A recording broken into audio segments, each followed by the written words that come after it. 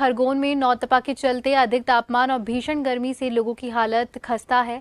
ऐसे में अच्छी बारिश की कामना लेकर सोमवार अमावस्या को बच्चों ने डेडर माता को घर घर ले जाकर निमाड़ी परंपरा का निर्वहन किया। इसी बीच श्रद्धालुओं ने मेंढक के स्वरूप पर जल छिड़काकर मनोकामना की।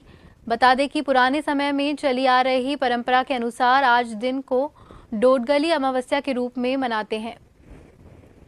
जिसमें सिर को पत्तों से ढककर मेंढक बनाया जाता है। इसी बीच बच्चों का झुंड घर घर जाकर पानी के आगाज़ के गीत गाते हैं और श्रद्धा डेडर माता के स्वरूप पर पानी चढ़ाकर बारिश की कामना करके अनाज गल्ला रुपए पैसा दान करते हैं।